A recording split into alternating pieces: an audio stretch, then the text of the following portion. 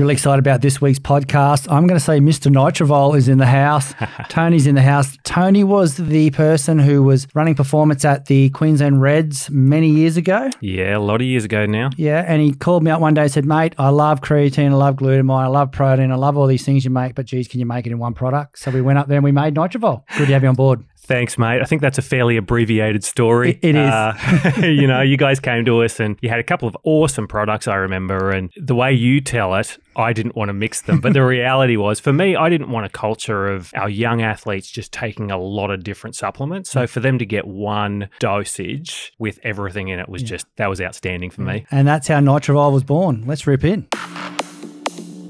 Welcome to the Body Science Podcast, bringing you everything you need, want, and should know about health, fitness, nutrition, and training. As always, the information contained in this podcast is for the information purposes only and is not designed to diagnose or be prescriptive to treat, prevent, or manage any injury, disease, or other health related condition. This podcast was brought to you by the newest product to enter the body science performance range, Myocytin. Independent research proved body science Myocytin to outperform standard creatine. In only six days, athletes ingesting Myocytin gained more than twice as much body mass as those consuming regular creatine. Athletes also increased upper arm girth by over 200% more than regular creatine users and improved their bench press performance significantly more than users of regular creatine. Ask your local supplement retailer how to get yours. Welcome to Body Science HQ, the world of fit, happy, and healthy. And I'm going to add on the end of this one Performance Lab Guru, somebody I met at the Queensland Reds. What do you, when was that? That would have been back in Mate, that was mid to late 90s. 90s. Yeah. Yeah. Geez, it's got an old age to it, doesn't it? Yeah. Yeah. Yeah. That seems like five years ago, but apparently it, it's does. not. Yeah, I've, people say, okay, Nitrovol's been around a little while. It's been around forever. it was a product that came from you, and it's it's a really cool story that we still tell today. And that's one of the great things about being involved in sport. You, you not only build the relationships and and you get to meet great people. We've actually done a lot of product development through sport, and like you just mentioned on the intro there, that was about simplification and safety for athletes, and that was something you were always about back then. Yeah, absolutely. Just trying to make it as easy as possible to perform at your best every day. And if we reduce some of that input, some of that friction from, you know, I, I can't guarantee you that an athlete will take three or four supplements, but I can probably guarantee they'll take one. Yeah. And if there's one with everything in it that we need, then that's gold. Yeah, and it, it's been it's probably one of our longest serving products now, and I should say thanks for that. Hey, no problem. It was accidental, but no problem.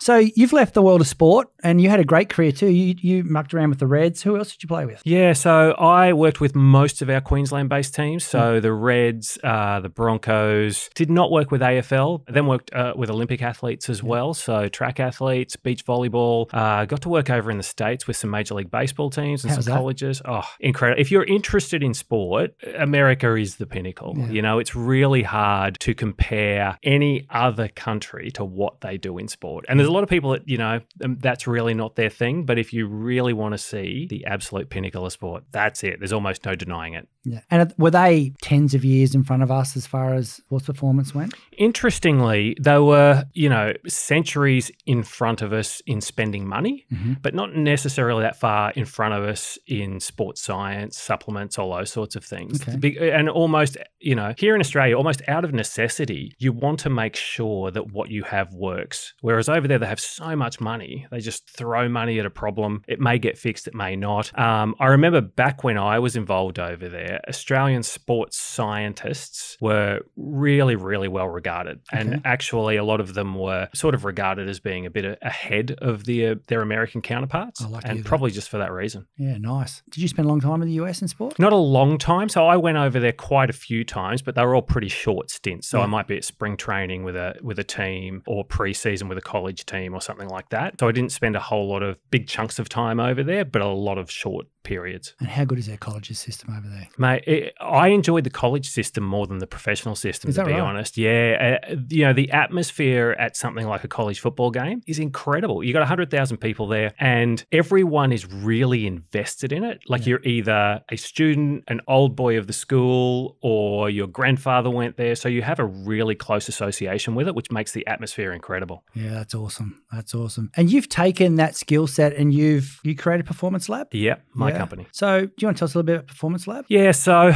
you know, I hit a point in my career where I was able to do some really great things in sport, uh, but I was also, I also experienced a lot of the downsides of sports as well, you know, especially as a, as an assistant coach, like as a support staff coach. They always say there's two types of coaches, coaches that have been fired and coaches that are going to get fired.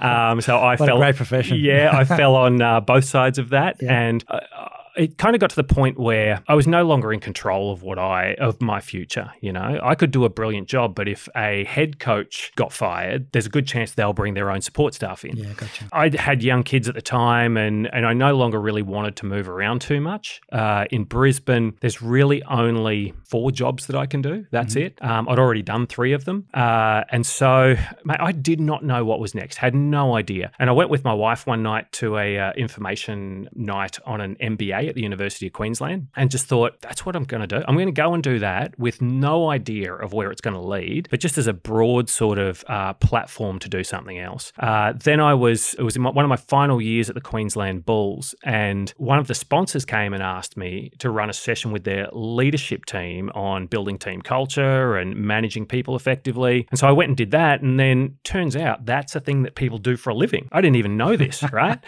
and I was just really lucky from there. Sort of word of mouth started to spread, and I started doing a lot more of that kind of corporate stuff. And at the end of the day, I was most interested in we have all of these athletes in different sports and you know different teams. And at the end of the day, really from a fitness, strength, decision making, skill point of view, they're all pretty close. You Yeah, know, okay. they're probably within one or two percent of each other. So what is the thing that helps teams or athletes outperform other teams or athletes based on the fact that a lot of that raw talent is the same. I got really interested in that. And then so I went to work in the corporate world, working with leaders and teams around that, and then eventually working with staff on just that element of how do we manage ourselves every day? How do we show up every day and do great work and do it all without burning out? So that's what I got super interested in. And did you find the corporate athlete very similar to the traditional field athlete as far as the approach to every day? Oh, probably at the highest level. So if you have a really high level business owner, CEO, in a lot of ways, yes, without the emphasis on recovery and downtime. So everyone wants to go really hard all the time. In sports, you simply can't do that because it's physical. But in work, you feel you can do that. Uh, and while most of the research tells us you actually can't, you know, that's generally what they were trying to do. And in a lot of ways, in, you know, setting goals, in, I guess, tricks to sort of stay motivated, having good routines, the really good ones were doing that. But funnily enough, once you got under that sort of senior manager level, no one else in the organization's doing it. And so you have all of this untapped potential in the organization because you have these people who are who really ha- do not have any idea about managing themselves every day and they end up just turning up and going through the motions and that's one bad for business obviously but it's two it's not great for the individual either No, you know? exactly, exactly. So, mate, talking about leadership and performance, do you find most of your value is in the team structure of a corporate or at the high end board level? Like, wh- where where can you make the most change? So I most like it's a bit of a two part question. Yeah. Um, I most enjoy working with kind of middle management, Yep. and just because they can have the biggest impact, they have the the biggest reach to the most number of people. Having said that, for that to be most effective, I need senior management to have bought into that as well. So I need to do the work at that level to get them to buy in, and then most of the work at the next level, just so they can affect more people. Like at the end of the day, my mission in the work that I do is just to affect as many people as I possibly can, positively affect Yeah, as many people as I can. And to do that, I either go straight to the people or I try to get the people that manage the most number of people. Yeah, okay. And using the example of a forwards coach or a backs coach, you know, obviously there's a different skill set. They both play the same game. Do you have the same theories at corporate with that middle management and that upper management as to the the way you talk about leadership and performance? Very similar in, you know, I think in sport, a lot of things are easier. We, we talk about this concept of creating clarity, right? And that could be clarity around what we need to do to succeed. It could be clarity around what success actually looks like. It could be clarity around the culture that we want and and therefore what behaviors we choose every day. So in sports, a lot of that is pretty kind of self determining. Like it's fairly obvious. It's obvious what we're trying to achieve. We're taught those technical skills to do it. So it becomes a lot easier. In the workplace, when we're trying to create clarity around those things, and often for a vast number of people, that's the thing that becomes really difficult. How do we get people to understand one, what we're trying to achieve, two, the things that they do that make them most valuable in achieving that, three, the culture that we're trying to create, and then number four, how do we kind of keep that front of mind and how do we help people show up and do that every day? Yeah, nice. I like that word clarity you just used too, because you didn't use the word communicate. You didn't use you used the word clarity, which is, I guess, the end goal of everything. That because if you've got clarity, you you've got the vision, you've got where everything's going. I, I, do like that. I haven't had a lot of people come here and use that word. Yeah. When they're talking about, especially leadership and, and working in that corporate space, I like that. Yeah. Well, the clarity clarity has everything else you talked about rolls up into that, mm. right? To get clarity, I have to communicate well. I have to be clear on what my vision or what my strategy is. Now, I don't just have to communicate well. Everything that we do insofar as systems, processes, recognition, reward, holding people accountable has to support what I'm saying. And if all of those things aren't in alignment, then people are likely to go, you know what? They say that this thing's important, but then they show me something completely different. Yeah. And that's one thing that people just cannot stand. You know, and whether that's in a sporting team or the workplace, it's one thing that people see and they disengage from that very quickly. Do, do you think the background in sport was a real positive for you leading into where you are with Performance Lab? Yeah, I think so. And I think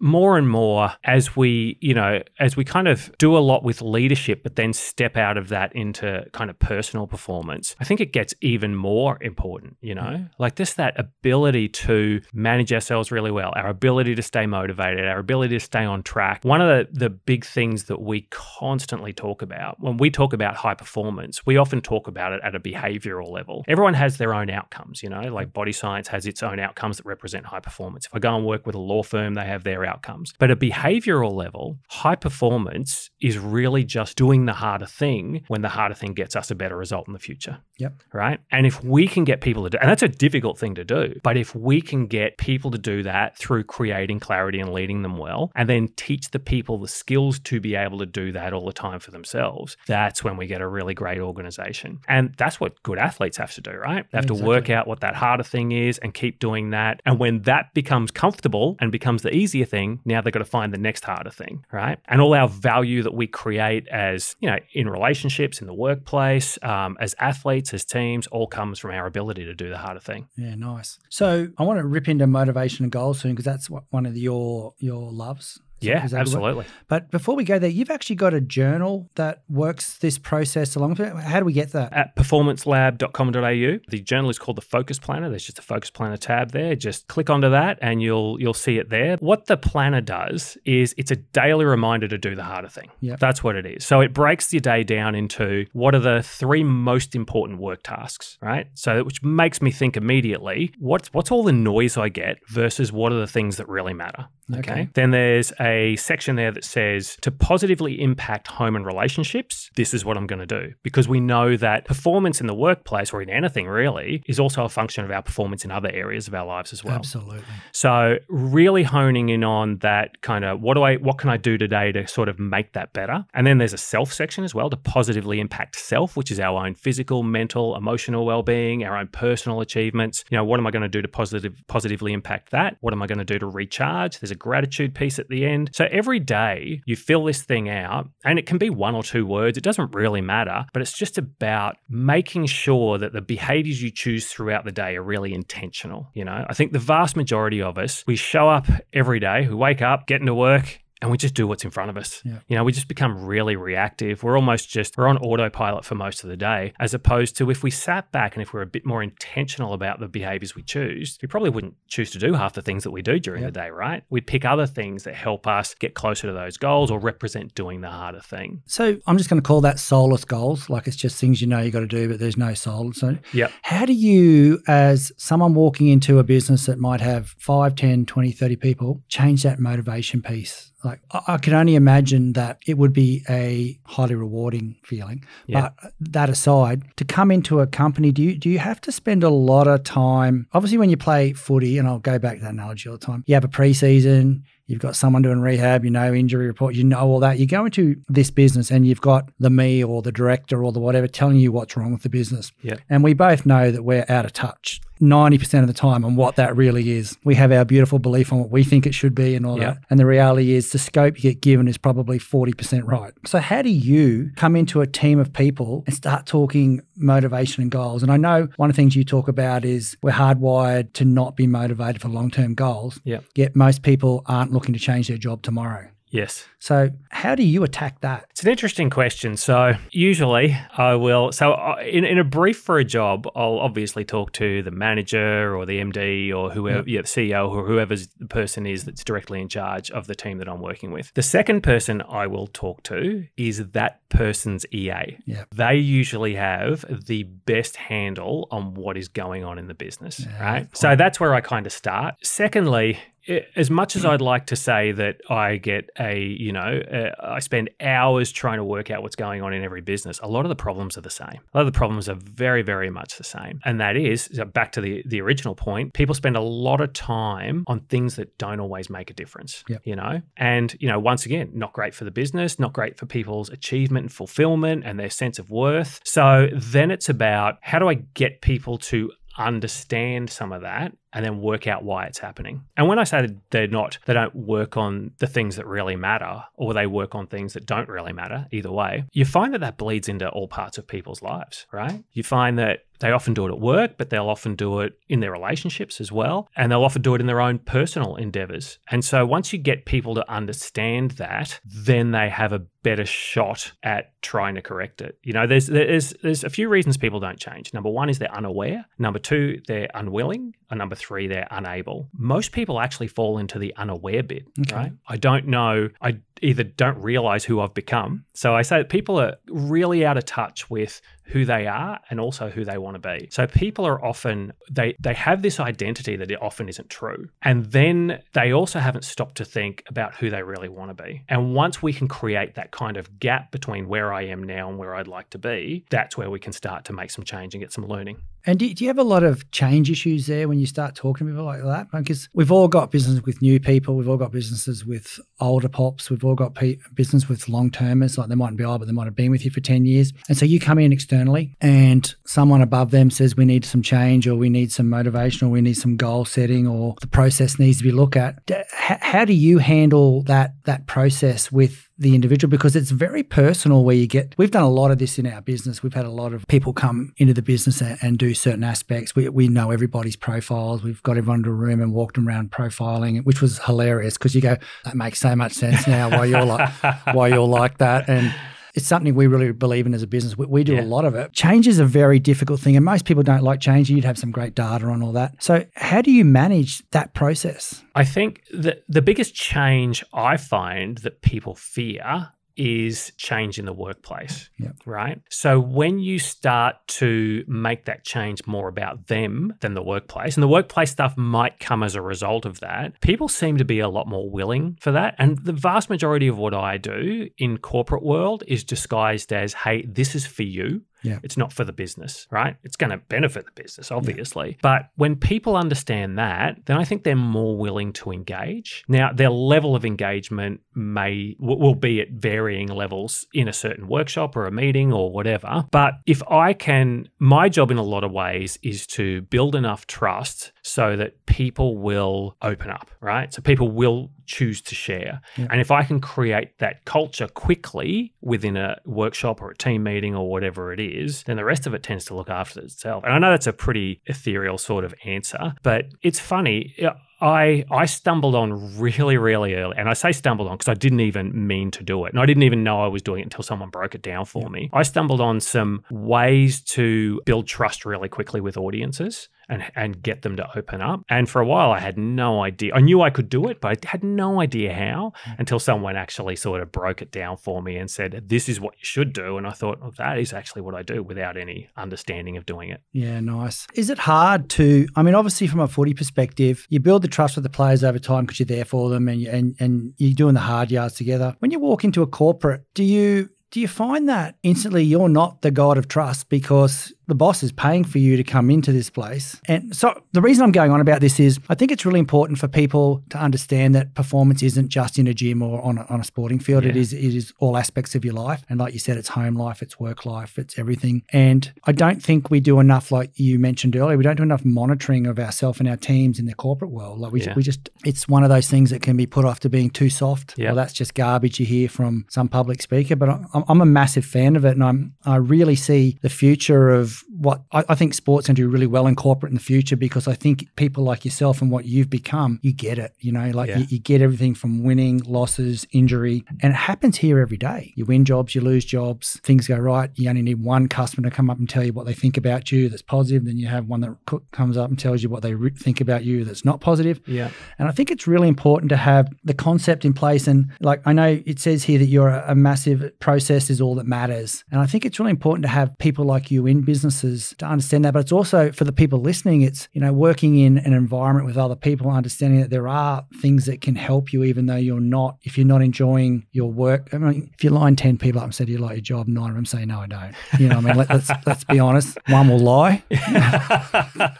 and then the other four that didn't really give an honest answer are trying to start their own business anyway, and and they Yeah. they've got that drive and they're, they're trying to learn that. So from this perspective of processes and performance in business, it fascinates me because I, I just we're, we're heavily DNA'd in sports, so we see that side and we get Yeah. to meet with people like you and, and spend time with you. And then you know, what, ten years later, fifteen years later, you're running performance lab, and I just want to pick your brains at this podcast and go, but what does that mean? But what does that mean? And it probably sounds a little dicky on my side the way I'm talking.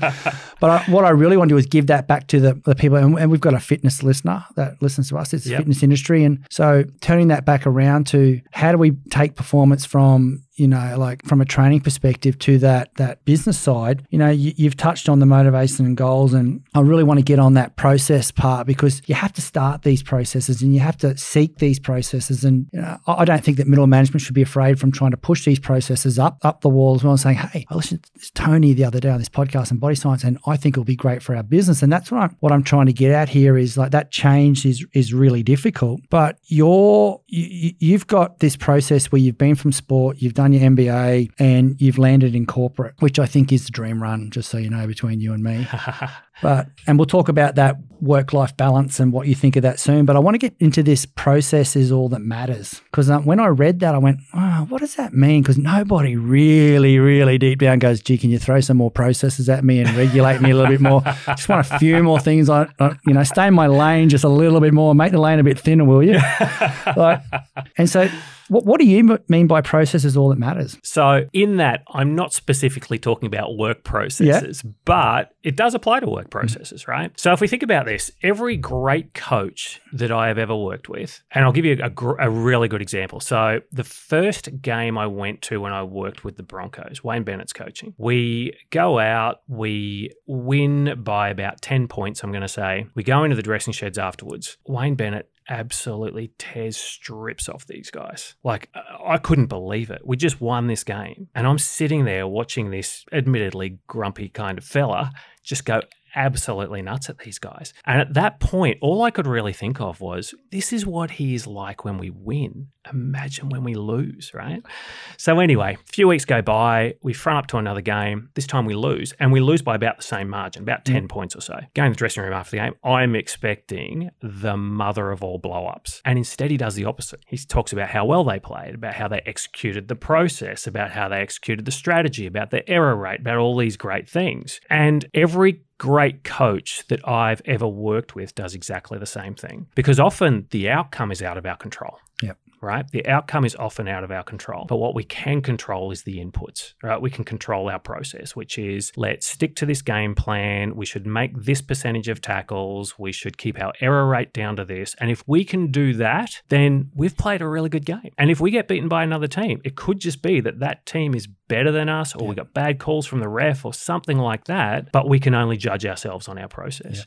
And in the fitness area, I think this is in training in general, I think this is so important because if we tie our motivation, our self worth, our good feelings to our outcomes. And let's say our outcome is, I want to lose weight. Well, we know that that goes up and down, right? We know that I can get on the scales today and I could do everything right and get on the scales in three days' time and maybe go up by 300 grams, yeah. right? That could happen. So if I tie my self worth to that outcome, then all of a sudden that self worth goes up and down, right? It's terrible. So, you know, there's that saying, progress is never linear, and it never is in anything. The only thing that can truly be linear is effort, yeah. right? So it's the work we put in, but it's got to be the right effort right? And so we have this saying that we use, especially with um, with young developing athletes. We used to use it in sport, and that is just this concept of winners behave like winners, right? So winners do the things that winners do, and this sounds really simple and remedial, but when you think about it, it is absolutely true. If I want to be really great at anything, I should find the people that are really great at it, and I should do that thing. And if I can follow that process, that gives me the best chance of getting the best out. Now, will I always get the best outcome? No, my weight's going to go up and down. Some days I'm going to wake up, I'm going to feel terrible. Other days I'm going to wake up and feel great. But if I can follow the process, and more than that, if I can start to really enjoy the process and the process becomes my goal and the process becomes my motivation, then that replaces just about everything else. And that is what really great performers do in anything, right? And you, you know, often we think talk about process and people go to um, Rafa Nadal before he serves, right? Jonathan Thurston before he kicks. We think about that process, but there's there's a process to perform,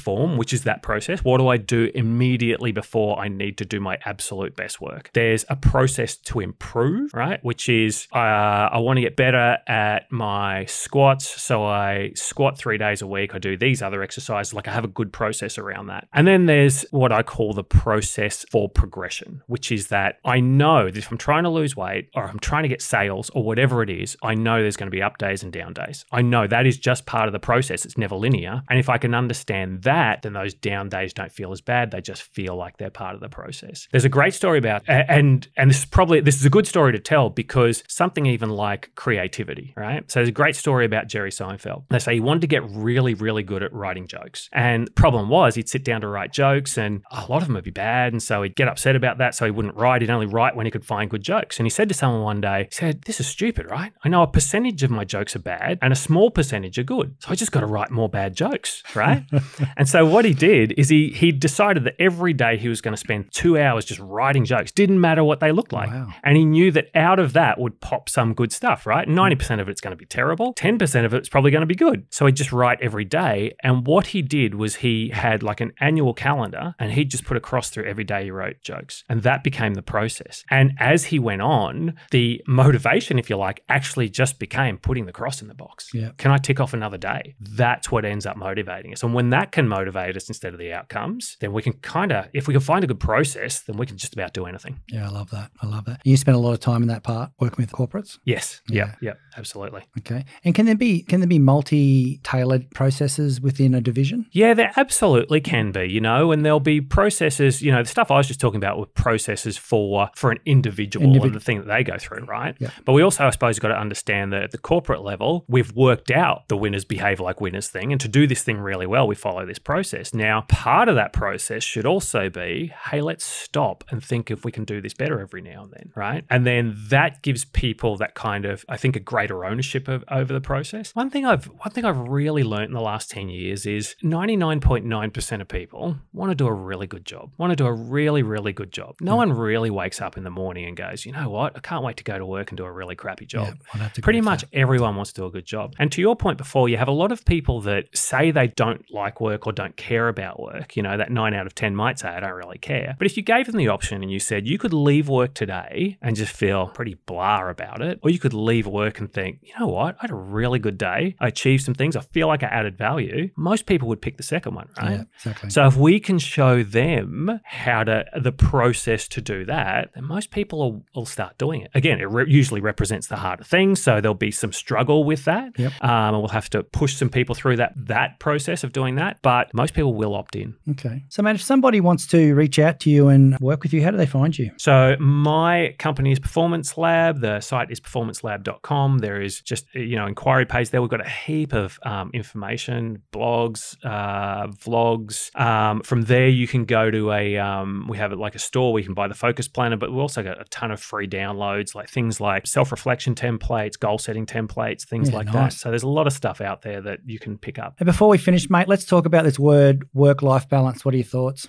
Yeah, you know, I think people approach it wrong. I think the biggest thing about work life balance is no one really has a definition for it. And like anything, if we have no benchmark or no definition, there's an excellent chance we can't achieve it. Yeah. Like, I mean, you, you ask most people, if you say, Would you like more work life balance? They would say yes. If you say, What does that look like? They'll say something like, I'd like to get home earlier a couple of days a week or not work on the weekends or something like that. But, you know, if you if you get home earlier a couple of days a week and spend the next two hours scrolling Instagram, probably not really work life Yeah, balance. absolutely. Do you know what I mean? Yeah. So having a real understanding, a re- really good definition of it for yourself, and once again, when what we teach is, you know, it's it's managing those areas of work, home relationships, and self, and it's understanding things in each area that make a really big difference, and focusing on them, and not worrying about the rest of the stuff, right? Because the reality is, we only have a certain number of hours in the day, and work is infinite, infinite. I I had a, a conference the other day, 400 people, and I said, put up your hand if you could work the next seven days straight for 20 hours a day and still not get everything done that you'd like to get done. And every single person put their hand up, right? And so, and so this is the biggest problem because I say that work-life balance actually starts at work. It starts with at the start of your workday going, you know what? What can get done today and what can't? What are the things that really matter? And can I get those things done? And what are the things that just aren't going to get done because there's stuff that isn't going to get done? And so if I can narrow it down to that, then I can actually finish a workday, right? If I can say, this is what a good day looks like, I get these things done and I'm realistic, then at five, six o'clock, whatever it is, four o'clock, hopefully, I can go, you know what? I did those things. My Yeah, workday's finished. wins, yeah. I feel good about that. Yeah. Unfortunately, for most people, what happens is they get to four o'clock and there's still a hundred things on that list. And so they never, they either never leave or they leave late or they never feel like they've actually ever finished. And it stops them from disconnecting from that and going and looking after the other parts of their lives. But if we can work out the big things at work, the big things in home relationships, and the big things in self, and I know that today to move each of one, one of those forward, here's what I'm going to do. Or this week, you know, here are the things if you want to spread it out over a week, then I've got a really good chance of getting work life balance because I actually know what it is and it has a process. Yeah, I love that. What a great way to finish the podcast, mate. Thank you so much for coming on board. It's uh, it's really good to see you again, Yeah, good to see you, mate. and um, we'll keep selling Nitrovol.